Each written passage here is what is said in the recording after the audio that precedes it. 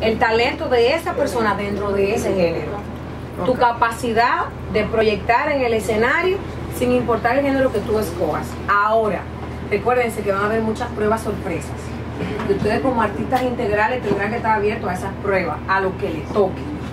Porque si te tocó hacer un dúo eh, con una persona que vayamos a invitar y lo que tú cantas es dembow y te tocó rapear, ese día tú vas a tener que demostrar que tú lo puedes hacer. Se puede decir que estamos buscando la, la forma integral.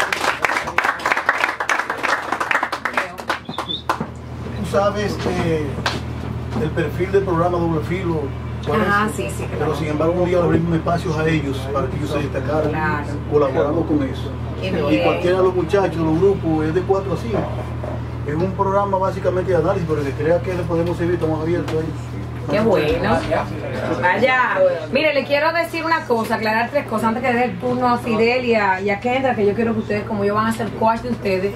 Y como van a ser coach, ustedes van a tener que tener una relación bastante cercana con ellos. Quiero aclarar lo siguiente.